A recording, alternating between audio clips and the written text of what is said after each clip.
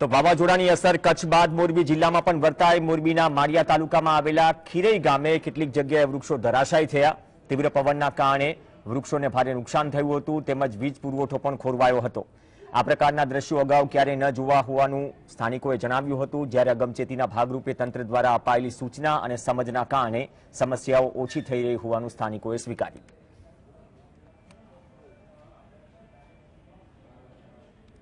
બિપોજોય વાવાઝોડાની અસર છે તે મોરબીની અંદર જોવા મળી રહી છે હાલ. જે પ્રકારના દ્રશ્યો છે તે માળિયાના જે અનેક ગામોના છે તે જોવા મળી રહ્યા છે. અત્યારે આપણે જે માળિયાના જે ખીરઈ જે પંચવટી ગામ છે, ત્યાં છીએ અને ત્યાંના આ જે દ્રશ્યો છે તે જોવા મળી રહ્યા છે, જે વૃક્ષ છે તે ધરાશય થયા છે અને અનેક નુકસાની છે, તે નુકસાની જોવા મળી રહી છે. હાલ તો જે પંચવટી, જે ખીરે ગામ છે ત્યાંના દ્રશ્યો છે તેમાં જોઈ શકાય છે કે જે વૃક્ષ ધરાશય થતા હાલ જે- શેરી છે તે બંધ હાલતની અંદર જોવા મળી રહી છે અને નુકસાની છે તે અત્યારે જોવા મળી રહી છે. જે પ્રકારે સતત જે વાવાઝોડાની અસર છે તે મોરબી જિલ્લાના અનેક ગામોની અંદર જોવા મળી રહી છે. જે પ્રકારે જખો બંદરે જે વાવાઝોડું ટકરાયું હતું અને હાલ રાજસ્થાન તરફ આગળ વધી રહ્યું છે. તેની અસર મોરબીમાં પણ સતત જોવા મળી રહી છે. રવિ સાણંદિયા, જીએસટીવી, મોરબી. તો મોરબીમાં મારિયાની દરિયાઈ પટ્ટીમાં વાવાઝોડાની અસર જોવા મળી. વાવાઝોડાની અસરના પગલે દરિયાનું પાણી જુમ્માવાડી વિસ્તારમાં પહોંચ્યું. દરિયામાં પણ તીવ્ર કરંટ જોવા મળ્યું. સતર્કતાના ધોરણે વાવાઝોડા પહેલા જુમ્માવાડી વિસ્તારના લોકોનું સ્થળાંતર કરી દેવાયું હતું.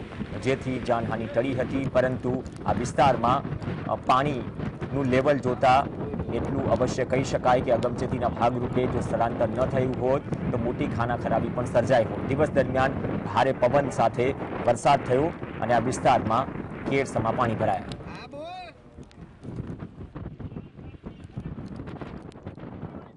બિપોરજાઈ વાવાઝોડાની અસર સૌરાષ્ટ્રના જે દરિયા કિનારે જેમ જેમ થતી હતી, તેના દ્રશ્યો હવે ભયંકર છે તે સાબિત થઈ રહ્યા છે. જે પ્રકારે જે બિપોજન વાવાઝોડાને લઈને તંત્ર દ્વારા જે વિસ્તાર ખાલી કરવામાં આવ્યો હતો, જે નવલખી બંદરનું જે જુમાવાડ વિસ્તાર છે તેને બે દિવસ પહેલા જ ખાલી કરવામાં આવ્યો હતો અને તેના જે તંત્રની જે પ્રકારે કાર્યવાહી છે તેના કારણે અનેક જે એક હજારથી વધારે લોકો છે તેમની જે જિંદગી છે તે અત્યારે બચી શકાય.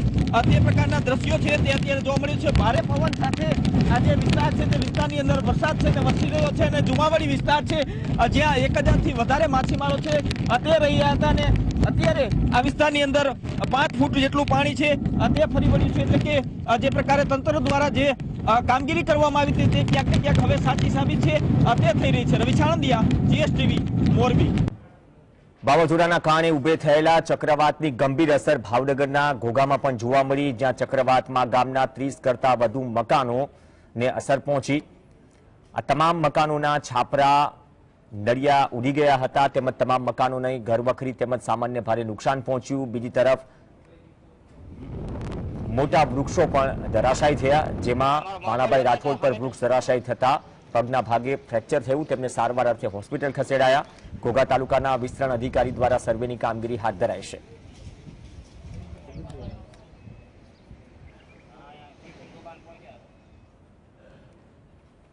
ગઈકાલે બિપોરજોય વાવાઝોડાની અસરના પગલે કંટાળા ગામે એક ચક્રાવાત ઉદ્ભવ્યું હતું. તમે જોઈ શકો છો દ્રશ્યોમાં જ્યાં વર્ષો જૂનું લીમડાનું વૃક્ષ છે તે પણ આ ચક્રાવાતની ઝપટમાં આવી ગયું હતું. આ જે વૃક્ષ છે લીમડાનું તે ધડાકાભેર તૂટી પડ્યું હતું અને જે બાજુમાં જે મકાન છે, તેના ઉપર પડ્યું હતું. જેના કારણે મકાનમાં એક વ્યક્તિ હતી, તેમને ઈજા પહોંચી છે. હાલ તેને સારવાર માટે ખસેડવામાં આવ્યા છે. પરંતુ થોડા સમય માટે ઉદ્ભવેલું ચક્રાવાત કેટલું જોરદાર હશે તે આ દ્રશ્યો પરથી જોઈ શકાય છે, કારણ કે આ ઘટાદાર લીમડાનું જૂનું વૃક્ષ ધરાશયી થયું. સાથે મકાનનો કેટલોક ભાગ પણ ધરાશયી રહી ગયો છે.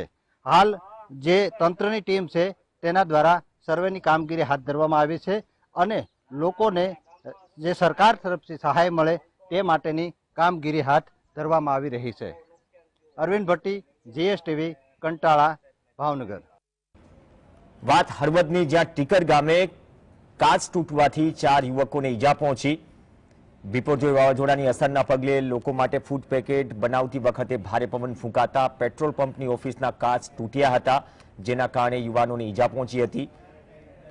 આ ઘટના ટીકર ગામના પૂર્વ સરપંચ વિજયભાઈ જિલ્લા પંચાયતના સદસ્ય ધર્મેશ ધર્મેન્દ્રભાઈનો આબાદ બચાવ કરાયો હતો અને આ ઘટનામાં ઈજાગ્રસ્તોને સારવાર માટે હોસ્પિટલ ખસેડાયા હતા.